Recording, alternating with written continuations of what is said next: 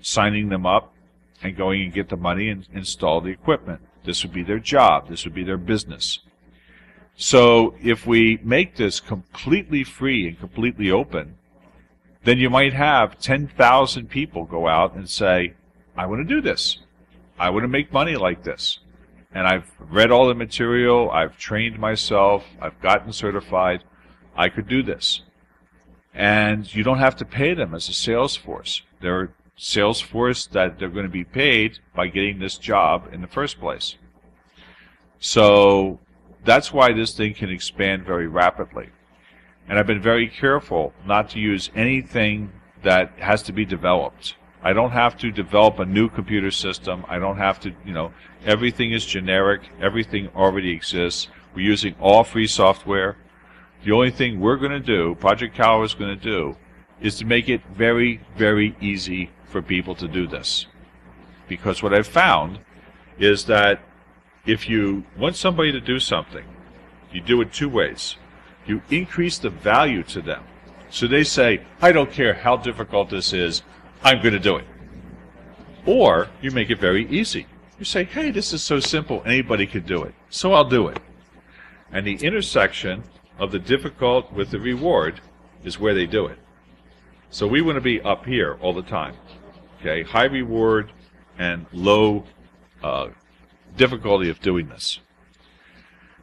So we we're going to be opening up the project right away and getting input from the community about the types of vertical markets we would be going into.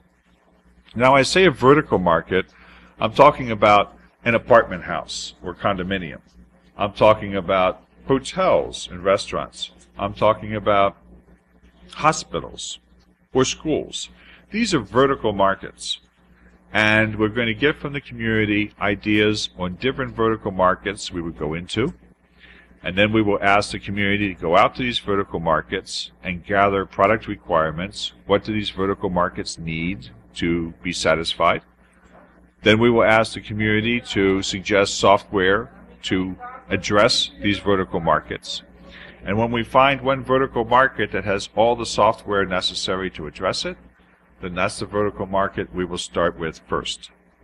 And we will create a pilot. We will allow somebody to buy the equipment, to install it. We'll find out the issues that exist. We will fix the issues. We will document them. And then we will uh, run the pilot to make sure it's successful, to make sure that the number of thin clients that we have will be able to be supported by the server that the person will have the proper training to do it. We'll document everything. And at the end of the pilot, we will study it, write it all up, and put all the materials out on the internet so people can come along, look at this, and say, I could do that job. You know, I could make this money. And they will make, uh, from our calculations, they will make a very nice base salary. But if they do extra things, like give courses, to their customers so their customers know how to use the computer system better. If they sell new hardware like printers or things like that to their customers, then the customers will be able to to use that and they'll make more money. If they do web pages, if they do simple programming for their customers, if they help their customers set up the software for business, all these things they can charge extra for and make even more money at this job. So they can make a very, very good salary if they work hard. We also want to tailor this towards people who are otherwise hard to employ. So single parents who have to take care of their children, they should be able to run this business from their apartment house, from their apartment. And they should not have to be have to leave their children. If they need to have something done that they can't do, then they could hire somebody to do it. So, for example, installing new wiring or something, they could hire somebody to do that. That's part of the business. Um, maybe the physically challenged, people who find it difficult to leave their apartment because they're they're immobile for some reason. They could also run this from their own apartment. And so we hope to be able to give jobs to the people who are very challenged to do this. From from my experience and my you know facilities of doing this, really anybody with intelligence and determination could do this job. So we hope to find people from the welfare system who have intelligence, who have determination, but they simply do not have the training they needed to do a particular job. Maybe their job was eliminated somehow.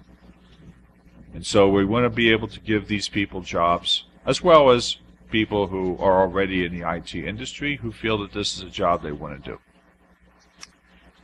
So a lot of people say to me, oh, you'll be fought by this, you know, this, this group won't like this, this group won't like this. And I'll say, well, why? And then they say, why? And I say, well, have you thought about this? So, for example, they say, the telephone companies won't like this, or the internet companies won't like this. I say, why not? And they say, you'll be taking away business from them. No, I won't. I'm giving them more business than ever. The business that they haven't been able to reach these people. Because the cost of selling to them is so high, it's not worth it. So now, instead of selling to 300 different people in an apartment house, the telephone company only has to sell to one person. And the sale is very simple.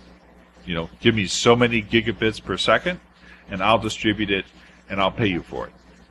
And if any of my customers have a question, they ask it of me, and then I ask it of you. So no more, you know, does your mouse have to be plugged in or your computer turned on or anything. The internet company doesn't get those questions. They get an intelligent, trained person asking them a question, which reduces their support costs. Reduced cost of sales, reduced support costs means more profit for them. So I think that, you know, telephony companies would welcome this. Likewise, people say, well, the government won't like it. I say, well, why not? I'm removing people from welfare and I'm making them into taxpayers and I'm not asking any money from the government to do that. What's wrong with that? So, we will see.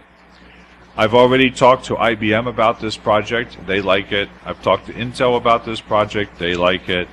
I've talked to Itaipu about it yesterday. They liked it very much. They were giving support behind it. Caixa Econômica Federal, I've talked with them. They seem to like it. So we're going to try and get all these people together and figure out how we can move this project forward rapidly in the next several months. I hope at next LatinoWare we can actually have ended one of the pilots and train people at LatinoWare how to do this job, show them an actual working system, give them the materials so they can go out and sell this to potential customers, and that they would be able to do that. At the same time, we're starting this project in Brazil what I would like to do is to have this project uh, go into the Spanish-speaking countries. So hopefully at Latino LatinoWare we'd be able to train people uh, in, from the Spanish-speaking countries to do this, have the pilot in the Spanish-speaking countries, translate all the documentation to Spanish, and allow the Spanish-speaking countries to go and do this. So that's why I think that this could happen very rapidly, is because there's nothing which would slow it down. I don't have to invent a new laptop. I don't have to, you know, get some type of manufacturing process in place. The thin clients already exist. Um, I have spoken with the University of Sao Paulo to design a new thin client specifically for this project. But the University of Sao Paulo would license this to any computer manufacturer who wanted to make it. So any computer manufacturer says, "Oh, I you know I'm going to lose sales for this." No, you're not. You know, just manufacture this thing, client, make your sales that way. There'll still be plenty of sales of fat clients to go around, but not everybody needs a fat client. And my job is to reduce the amount of electrical utilization so that more people can have computer systems. Obrigado. É, eu queria agradecer demais a, a, a colaboração com o nosso videoblog. É, dizer que você é muito bem-vindo aqui no Brasil. Volte sempre, a gente adora que você venha para cá. E eu quero falar para vocês que o nosso videoblog continua. Qualquer dúvida, manda e-mail para o e a gente está aqui para ajudar. Um abraço, obrigado.